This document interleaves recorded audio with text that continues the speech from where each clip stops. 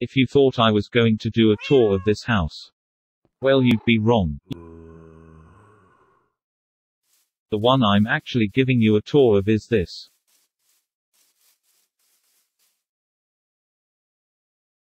It's about a 5x4 diamond ore shack. This took about two hours of diamond ore mining. But it was worth it.